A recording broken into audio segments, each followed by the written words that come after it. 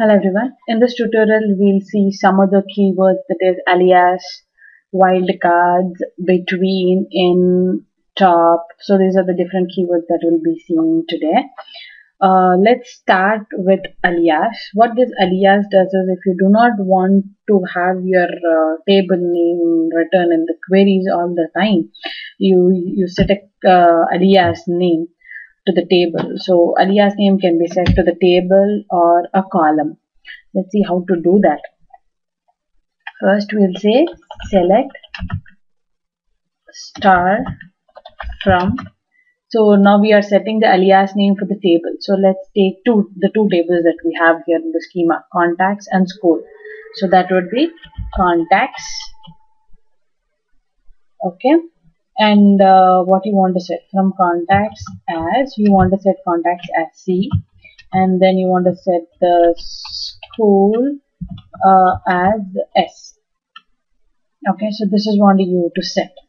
How do you know whether this has been set now let's just add a where clause. Say where c dot uh, I know the column name of the C is f name is equal to the school uh, of the f name. If these two are equal, then give me retrieve the information of the tables. Execute the query. Now you see all the columns have been executed wherever the first names are equal to the first names of the school.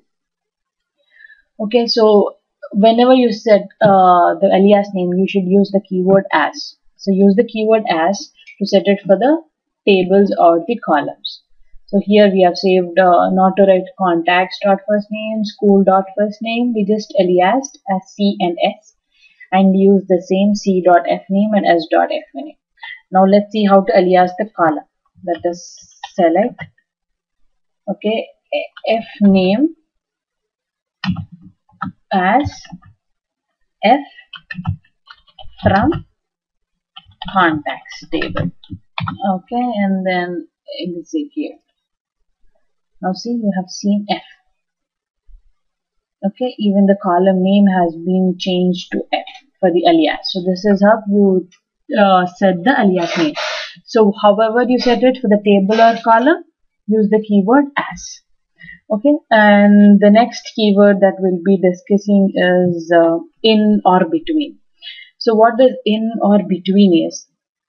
In is if you want to specify some multiple values what are these multiple values and bring me this information then you would use in.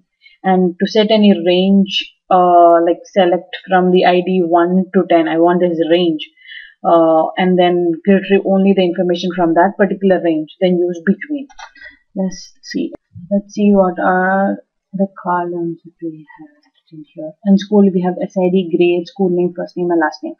Now let me retrieve the information in between 1 and 4 how do I do that? Save okay. From school. Where what is the column name that you want to filter? SID and use the keyword between.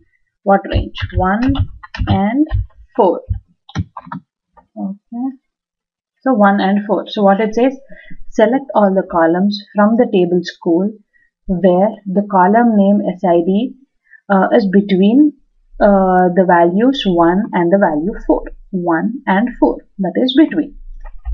Okay and now if you want to see in select star from star from school where the column is uh, SID and I would say instead of between I would use the word in. In what? In 1 and in 2. So what it does, it retrieves me only the information that is in uh, 1 and 2. So this is select all the columns from the table school where the column name SID A has, in is has 1 and 2. So it will retrieve 1 and 2. So between is always the range and in is always what it contains. So these are two separate keywords okay and then next would be the wildcards wildcards is like uh, if you want to use in any search so mostly it is used for searches like if you want to search for anything that starts with G or that contains some letters or so that contains some characters. So these are different wildcards that we use. So to do the wildcard, um, it's a combination of wildcard. We mostly use with like as another keyword. So if you want some any certificate, any particular pattern, then uh, we'll use the wildcards for that particular pattern and then uh, use the keyword like. Like instance, this is a wildcard and like as a keyword. So these are two separate. Okay. Now we want to say select star from school where uh, where okay sid like not sid let's just say the f name like uh, what does it starts with a and percentile and then execute. You see it starts with a. So what this does exactly is it says select all the columns from the table school where the column name that is the first name is like starts with the character a and after a it can have any other character. So this is just like a wildcard it can have any character like from b to z it can have any characters in between a and percentile. So this is how you use the keyword like and this. Now you can use it another way as well. That would be this. Instead of this if you want to say this. Uh, execute you see see so this is any value in the first name column that ends with an A. It retrieves the information of all the columns. So this is how we use uh, all these different uh, keywords. And the last keyword would be top. This top keyword is not supported in all the databases. So this top is mainly used like if you want to specify any number of records to return.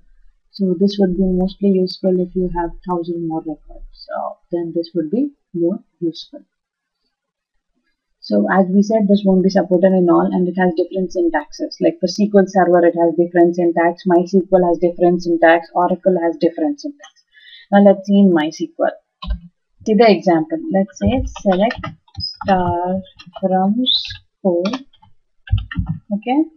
And then where uh, instead of where or in, even if you have any clause, uh, you can say, okay, let's see, say this one.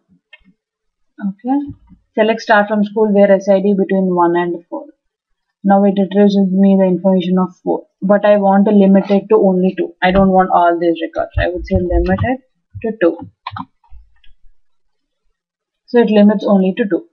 If you say limit it to 3, it will retrieve me 3 okay so this is how you use uh, limit that is the top keyword.